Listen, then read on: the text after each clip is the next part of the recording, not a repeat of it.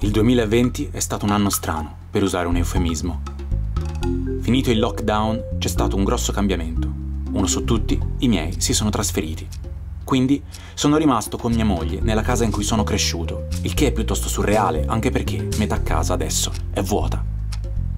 In attesa di traslocare a nostra volta, abbiamo disfatto i vecchi scatoloni e addobbato un po' le stanze dove stiamo. Nonostante non ci sia più la quarantena, almeno per ora, in questa sorta di periodo di limbo i giorni tendono ad assomigliarsi tutti, ma stamattina è stato diverso. Mi sono svegliato come al solito dopo aver posticipato la sveglia cinque volte.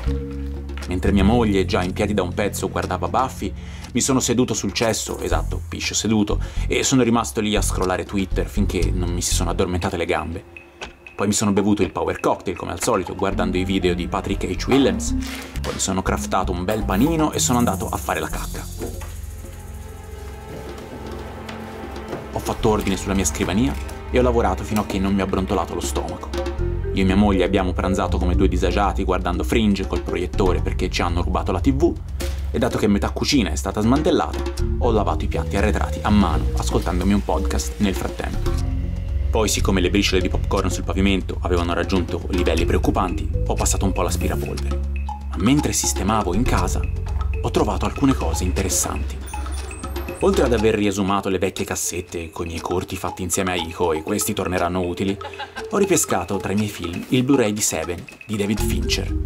Un'edizione orrenda, con un master che sembra una VHS ingrandita in upscaling per adattarla al formato HD. Grazie Cecchi Gori, per darvi un'idea la versione remastered disponibile all'estero è così.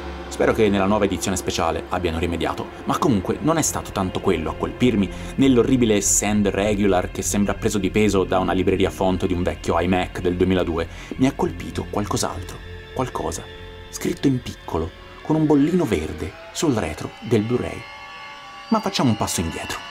Periodicamente salta sempre fuori il dibattito sulla violenza nei film, al grido di nessuno pensa ai bambini, cosa che di primo acchito effettivamente ha anche un po' rotto i coglioni, ma se devo essere sincero ci sono prima alcuni approfondimenti da fare. I miei genitori quando ero piccolo erano piuttosto tranquilli in merito, almeno finché una sera non mi fecero vedere Indiana Jones e il Tempio Maledetto e durante la scena in cui mangiavano gli insetti ho sboccato dappertutto, avevo tipo 4 anni. Da allora hanno iniziato a imparanarsi un casino, pure troppo, se devo essere sincero, nemmeno in modo particolarmente costante. Lasciamo un attimo da parte Indiana Jones, che tornerà tra poco, e analizziamo il mio percorso filmico sotto la guida dei miei genitori. Allora, 17 settembre 1993 esce nei cinema italiani Jurassic Park. Tutti i miei compagni delle elementari lo vedono, a me viene vietato tassativamente. Riuscirò a vederlo solo nel 97, io ero alle medie quasi, quando i miei compagni avevano già belle visto il mondo perduto. Ma vaffanculo. Comunque, nonostante questi divieti, all'elementare mi viene fatto vedere il 2001 di sé nello spazio, che mi ha traumatizzato perché non capivo una mazza, ma riuscivo a percepire un senso di tristezza immane che probabilmente non ero neanche in grado di elaborare. Ottimo lavoro! Alle medie vengo portato a vedere Matrix al cinema, la scena in cui quei fanno i cadaveri per nutrire i feti e coltivarli, vengo immediatamente portato via dalla sala. No, no, poi te lo sogni la notte, dicevano i miei. Poi però una sera noleggiarono Seven come se nulla fosse, quindi altro giro, altro trauma. Visto che siamo tornati al punto di partenza con Seven, ci tengo a precisare una cosa. Allora, i miei saranno anche stati un po' rompicazzo, va bene, ma per certi versi non è che avevano tutti i torti. Questi film sono certo la carica dei 101, teste mozzate, persone sbranate, cuori strappati, parassiti nell'ombelico, ma non c'è nessuno che avverte di queste cose. No, al cinema non c'è scritto niente. Guardi i DVD, le cassette, Tempio Maledetto, film per tutti, Jurassic Park, film per tutti, Matrix, film per tutti, Seven, per tutti. Cioè, una persona viene obbligata a mettersi uno strapon con un pugnale al posto del dildo e tombare una povera crista sventrandola nel mente, film per tutti. Non ha senso, vero? Esatto. Ma questa cosa non è sempre così. Perché se guardi Seven in tv, il bollino è rosso, se guardi Jurassic Park in tv è giallo. Cosa minchia mi significa film per tutti? Niente. Perché se andate a vedere le versioni originali dei suddetti film, le cose sono un po' diverse. Partiamo dall'inizio. Se i miei calcoli sono esatti, tipo nel 68 giù di lì, in America venne istituito un sistema di classificazione dei film in base ai loro contenuti, sistema che subì svariate modifiche, ma che attualmente si è stabilizzato dividendosi in G, PG, PG-13, R e NC-17. Passo a spiegare. Un film con rating G è considerato per tutti, sta per General Audiences, che vuol dire che persone di tutte le età possono vedere questi film. Tipo i cartoni animati in genere sono G-rated, con alcune eccezioni. Anche il Re Leone, che onestamente non è che sia proprio il massimo dell'allegria. PG invece significa Parental Guidance, ovvero in poche parole che si consiglia la presenza di un adulto, perché alcuni contenuti potrebbero non essere adatti ai bambini. Niente di sconvolgente, sia chiaro, tipo film come Inside Out, Up sono PG, perché trattano tematiche che emotivamente sono un po' impegnative. O magari un classico come Ritorno al futuro, qualche parolaccia ma niente di estremo, un po' di tensione e tutto a posto. Un film PG difficilmente conterrà sangue, violenza esplicita o immagini disturbanti, a meno che non sia, haha, Indiana Jones e il Tempio Maledetto perché fu un caso, fu classificato come PG, poi creò talmente tante proteste nell'84 che Spielberg decise di introdurre uno step aggiuntivo in questa classificazione dei film, il cosiddetto PG-13.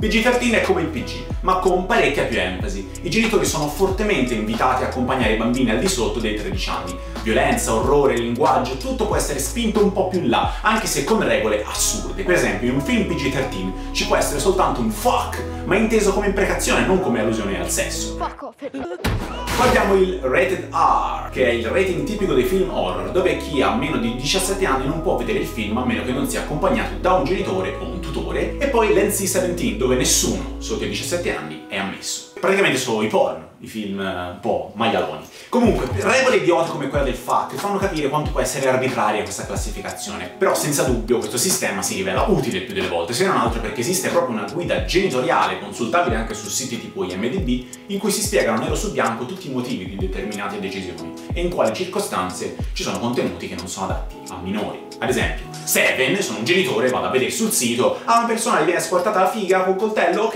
rated R, non ci posso andare con mio figliolo di due anni e mezzo, oh, è tanto difficile, no, film per tutti. Vabbè, comunque, ancora, Jurassic Park, PG-13, Matrix, rated R, da noi no, film per tutti. Ma come direte? Io, io ho visto dei film che al cinema o DVD erano vietati ai minori, è vero, perché questi furboni in Italia hanno un bel sistema di classificazione dove si salta da un film per tutti a un film tassativamente vietato ai minori di 14 o di 18 sembra non solo che non esista la via di mezzo, a meno che tu non guardi un film in tv o su Sky, ma che proprio non ci sia un cristo di criteri per cui un film viene classificato in un modo o un altro. È veramente difficile che un film in Italia venga bollato come vietato ai minori, a meno che non sia super estremo. Io giusto forse Hostel ho visto cartelli fuori dal cinema, o Hit, ma anche lì i ragazzini poi venivano fatti entrare lo stesso.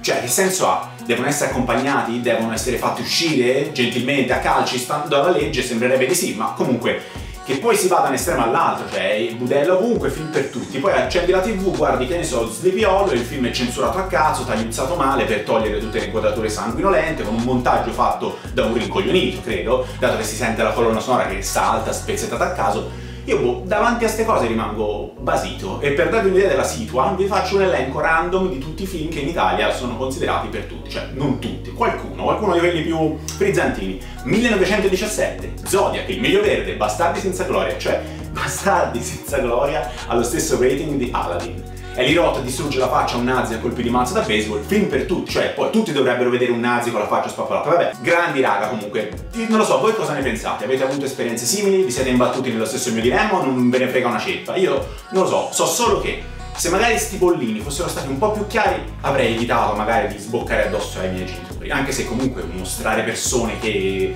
mangiano il cervello di una scimmia a un bambino piccolo non è che sia proprio il massimo ma pazienza. Voi scriveteci, raccontateci quali scene dei film vi hanno traumatizzato, che vogliamo sentire, scrivete nei commenti, noi ci vediamo, noi ci vediamo prossimamente, iscrivetevi al canale, preparatevi a nuovi video, dirette, cortometraggi trash e via discorrendo. Ciao!